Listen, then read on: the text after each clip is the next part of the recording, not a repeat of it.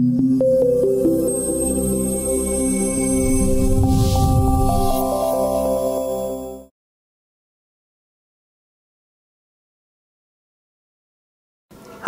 I'm Daniel from CTC Train Canada.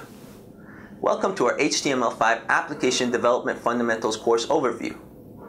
This three-day Microsoft Technology Associate Training course helps you prepare for MTA exam 98375. In this course, you will learn how to manage application lifecycle, build user interface using HTML5 and CSS3, as well as code with JavaScript. With over 25 years of training experience and Microsoft Gold Learning Partner status, you can expect a superior live instructor-led delivery that will allow you to take advantage of this powerful software.